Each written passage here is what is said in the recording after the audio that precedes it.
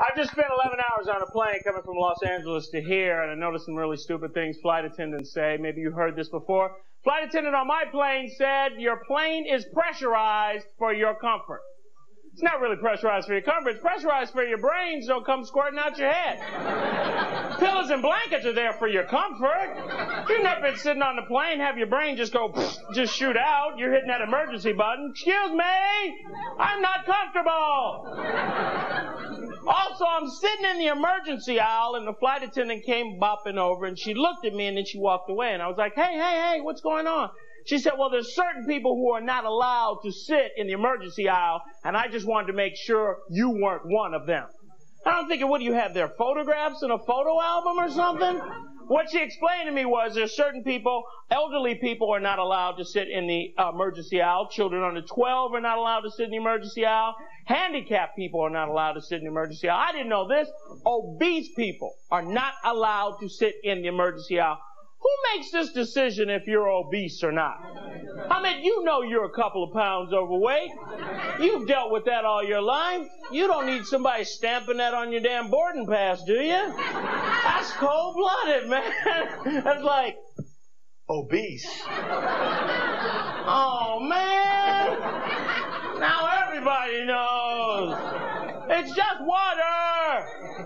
Also, people who do not speak English are not allowed to sit in the emergency aisle, which makes a lot of sense. Because you don't want your plane to crash and you're sitting there going, Open the door! Open the door!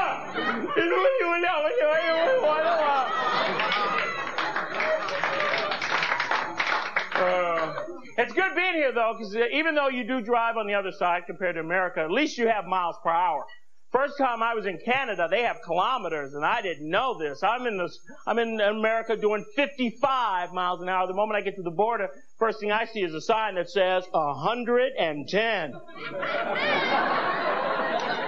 I'm flying down the expressway. All of a sudden I see a sign that says slow to 80. Children crossing. Thinking that's the least I can do. Those kids can't run that fast. Last time I was in Canada, I went hunting with a friend of mine. I don't know how many people hunt, but there they hunt. When they hunt the male deer, they spray doe juice on themselves. Doe juice. Doe a deer, female deer, juice, folks. You figure this out. I don't even know where they get doe juice from. You get it from some bear in the wood? Yo, man, I got doe juice right here. What you need? Doe juice right here. They spray this on themselves to attract the male deer.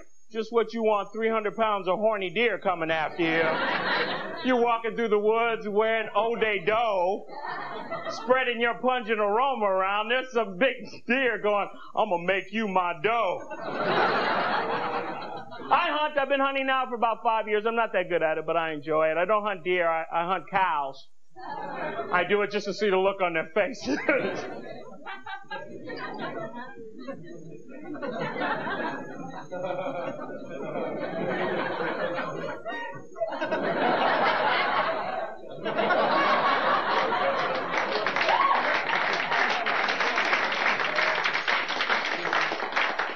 I'm a cow. I'll give you milk. You smell like doe juice.